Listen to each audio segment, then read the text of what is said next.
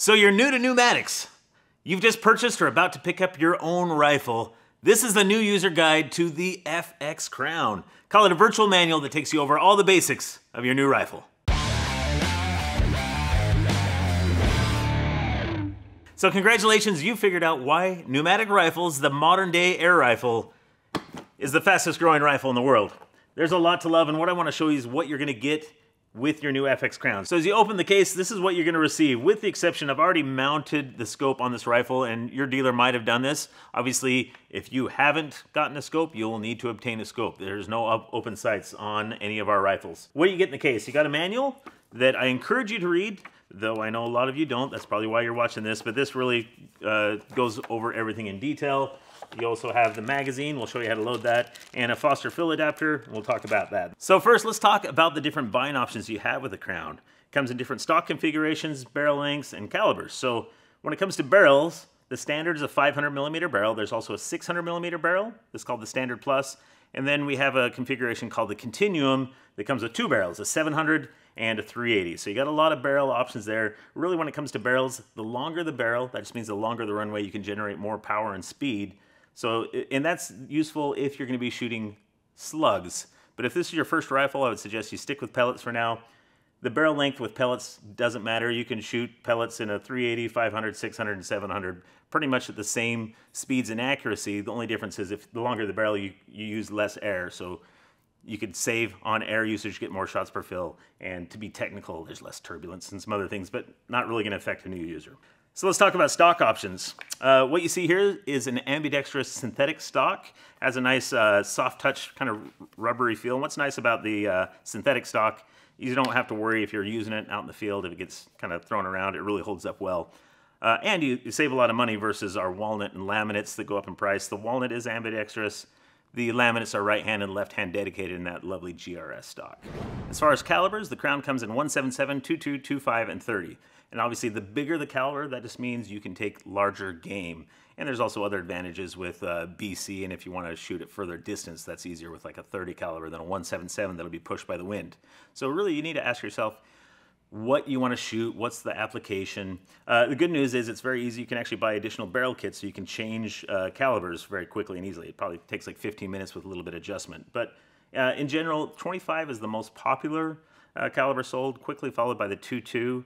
Um, the 177 is not sold very much just because those, are, those are really, those are light pellets you had growing up, right? They really get pushed by the wind. Uh, 30 caliber is growing in popularity though, especially if you want to do some, um, you know, if you're doing coyote or some bigger, bigger uh, pesting situations. So do your research there, but know that whatever you buy, you can always switch calibers later. The last thing I should mention is all the barrels are the Smooth Twist X Superior Liner.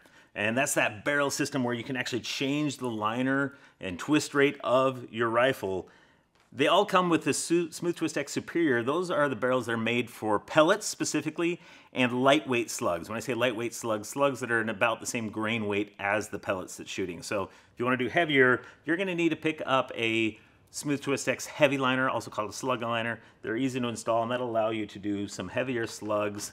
Um, but I would say for now, let's just focus on shooting pellets with your new crown. So let's talk about your rifle and its features. Uh, first of all, we got to put air in it, right? That's that's the source. That's the power source. So it comes with a 480 carbon fiber tank that fills to 250 bar. That's just above 3,600 psi.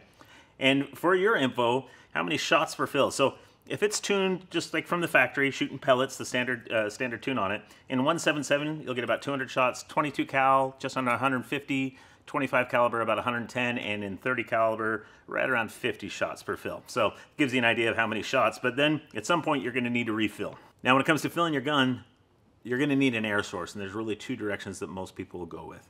One is they'll buy a big scuba tank, you know, the big carbon fiber bottle, and those work great if you're near a dive shop or an airgun store where you can refill those, or if you want to pick up an at-home compressor.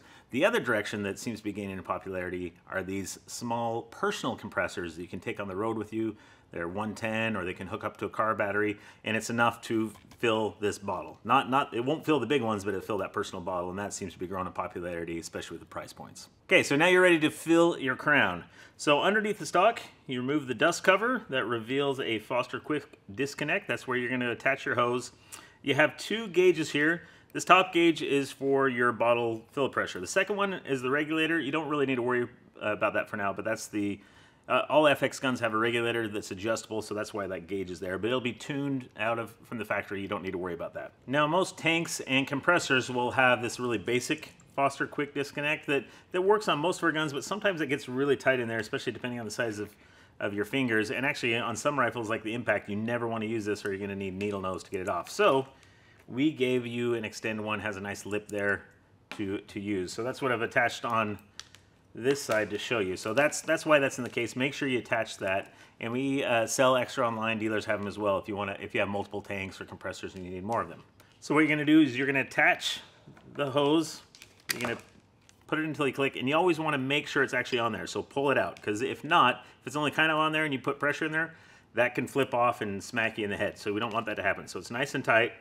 On the opposite end, if it was a tank, I would close my bleed valve, open the air, and this is the gauge you're going to watch. You want to watch that to fill, and you don't want to fill higher than 250 bar.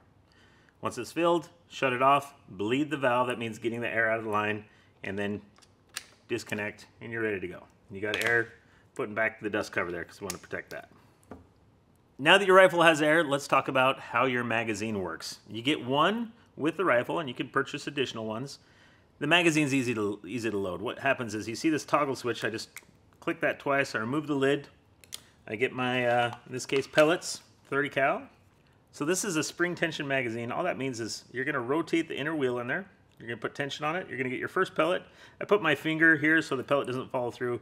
You're gonna drop that first pellet in that first slot there, and then you can see that holds the tension, and then it's super easy because that cover off, I can just go ahead and load all the magazine all the way through. Once I'm done loading it, simply get the clear cover, place it on, rotate that toggle, two clicks, and I got a completely loaded mag ready to go.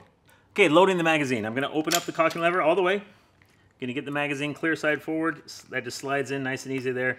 I close the cocking lever. Now at this point, that's pushed that pellet or slug into the barrel. So this, this is ready to shoot. And with that in mind, you really wanna put your magazine when you're ready to actually fire. Now removing the magazine, just in reverse. I'm opening the cocking lever, pull out the magazine. Now at this point, I've cocked the rifle, so I need to decock it. So I'm gonna put it, I'm gonna put my hand here. I'm gonna put this safety on fire, I'm pulling the trigger what, with my hand on the bolt because that starts to move forward. Just close that, and now that is decocked. A couple of common things you should know about your Crown is essentially it's a bolt action rifle. So after I've taken my shot, to get ready for the next shot, I'm gonna have to pull open the cocking lever all the way and then close it completely. I can't, if the cocking lever is open and I pull the trigger, I could damage the rifle. So make sure that cocking lever is completely closed and then I can take my shot. The other thing you have to be aware of is you may accidentally double feed your magazine or, or, load two pellets or slugs in it. So imagine you've already cocked the lever, you haven't taken the shot, you get distracted, and then you go and you cock it again. You'll probably feel it because you'll kind of also you'll be like that was a little bit stiffer, and you'll realize, oh, I double fed the the rifle. Not a big deal if there's two in there. You can take the shot, it'll purge it. Um, you just want to make sure you're not getting two, three, four, five, because then you'll jam the barrel. The other thing you can do if in doubt, let's say you're going to cock and you're like, wait, maybe I already cocked the gun.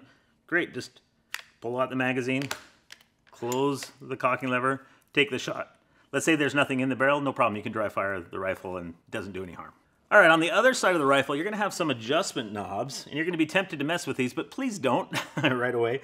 You wanna know what you're doing before you start messing with the knobs. Uh, this back one is a hammer adjuster. When I say hammer adjuster, when you cock the rifle, that pulls back a hammer, and when I pull the trigger, that slams forward and hits the valve, and that gives a pre precise amount of air to shoot your projectile. Now that's been tuned to what your rifle was built for, but this gives you the uh, ability to change calibers, or if you wanna change different weights of pellets and slugs, that's what that adjustment does, but don't mess with that. It's, it's set perfectly from the factory. In fact, you might want to write down what that adjustment is in case you accidentally hit it. This front adjuster is a valve control knob, and that's essentially, that's just decreasing the amount of air that can go through. So this is a quick and easy way to reduce your speed. Let's say you're in your backyard just practicing, then yeah, you can turn it on low and you don't have to use as much air. So that's that's a more simple adjustment. Honestly, you're, you're not gonna mess with either of these. Once you have it set and your, your gun's shooting well, you don't wanna mess with it.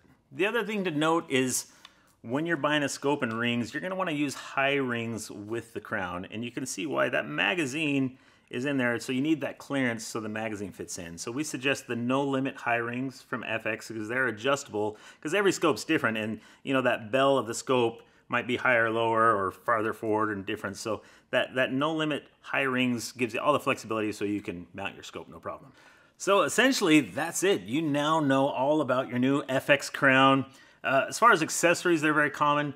All the barrels are threaded with half-inch UNF threads. That allows you to add an airgun moderator to make it even quieter than it is. So that's that's a very common accessory you might want to pick up there.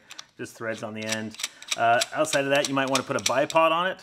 So to, to put a bipod on this rifle, uh, third-party groups uh, like Saber Tactical sell a little bottle clamp that give a Picatinny rail, or you can pick up, this is sold by FX, this is just a curved Picatinny rail that with two screws that come with it, you can just basically mount it there at the bottom of your stock if you so wish. So that, those are the common accessories.